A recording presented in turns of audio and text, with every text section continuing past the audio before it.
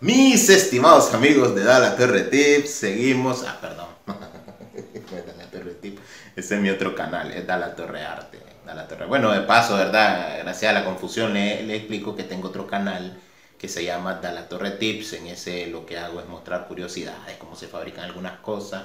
Eh, está bonito el canal, está bonito el canal. Así que si ustedes quieren y tienen un poquito de curiosidad, pásense por ahí. Les dejo allí, exactamente ahí, mire, allí les dejo un enlace para que puedan visitarlo.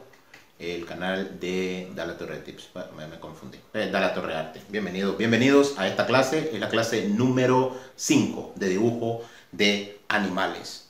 ¿Y qué dibujo vamos a hacer hoy? Vamos a dibujar un caballo en dos patas. Podrían decirme, ah, es fácil dibujar un caballo, un caballo que está comiendo pasto, un caballo así. Pero un caballo en dos patas y si es muy fácil, se van a dar cuenta hoy que es súper, súper sencillo y van a querer andarlo dibujando en todos lados. Se lo vas a querer dibujar a tu, en el cuarto de tu niño porque le gustan los vaqueros y esas cosas. No sé. Les va a gustar. Hoy vamos a aprender a dibujar un caballo. Nuestro lápiz 5B siempre se mantiene intacto. Miren, la punta sigue ahí.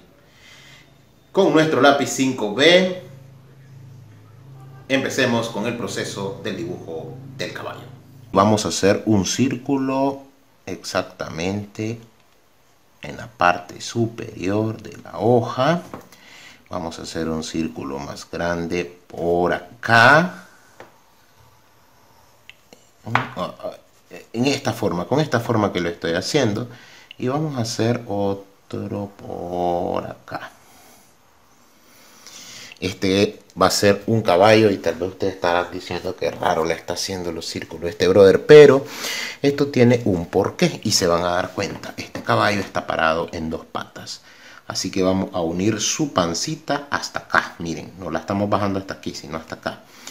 De aquí nos vamos a venir y vamos a unir haciendo una pequeña, eh, un pequeño doble acá, una pequeña curva. Ahora, esta de acá la vamos a unir aquí. Y esta de acá nos la vamos a llevar así. Aquí. Ahí.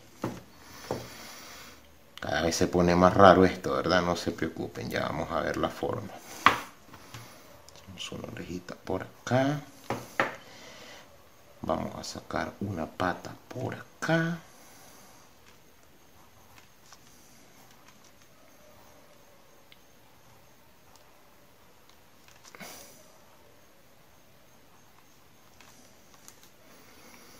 Y vamos ahora a sacar la pata de acá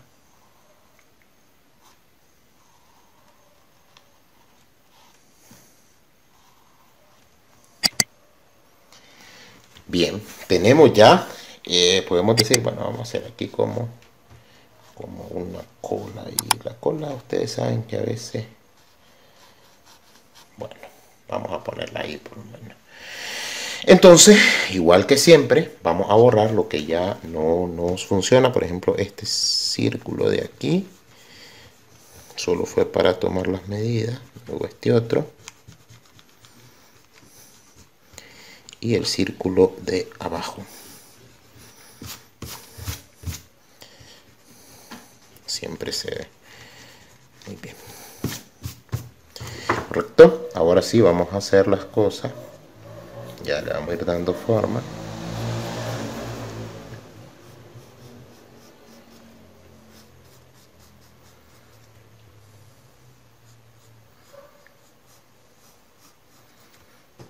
aquí sombreadita que es la parte de atrás que se ve todavía.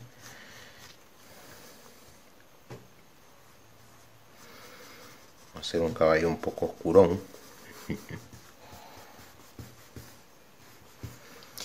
Bien. Bueno. Vamos a hacerle aquí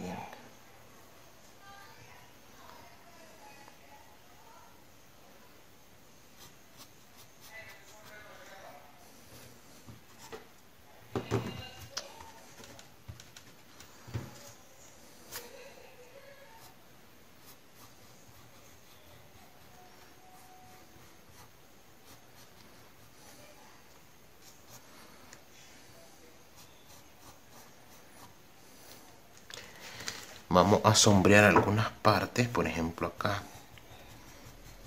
Importante siempre esto, porque definimos, ¿verdad? A ese algunos ángulos.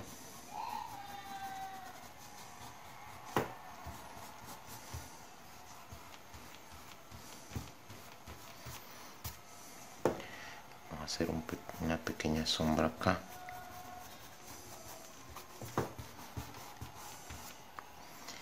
Y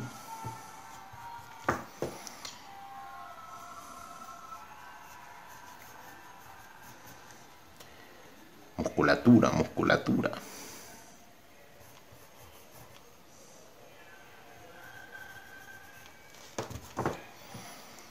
Este ladito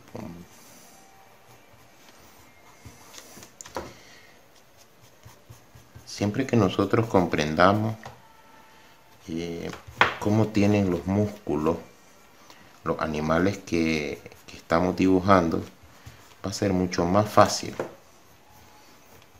guiarnos para hacer un buen dibujo.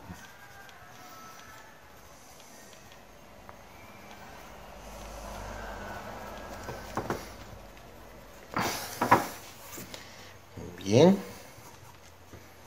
ahí vamos más o menos. Ahora a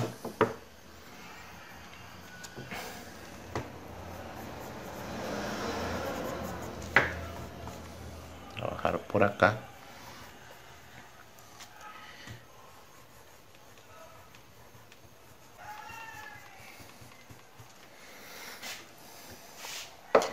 Se ha dicho que la figura de los caballos es una de las más complejas a la hora de dibujar. Pero con esta técnica eh, ustedes pueden notar de que en realidad es muy fácil. Uno, la técnica y dos, conocer al animal que estamos dibujando, porque si no lo conocemos también, pues no nos va a quedar bien, obviamente. Tenemos que saber incluso cómo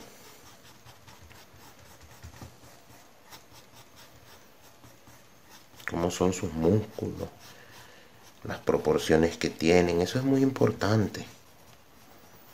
Sinceramente espero que este dibujo de un caballo en dos patas le haya gustado. Si les ha gustado, por favor, háganmelo saber en la caja de los comentarios. Díganme qué animal quieren que dibuje, qué animal quieren que dibuje. Ya se fijaron que eh, los círculos son una buena técnica. Los círculos son una buena técnica para dibujar animales.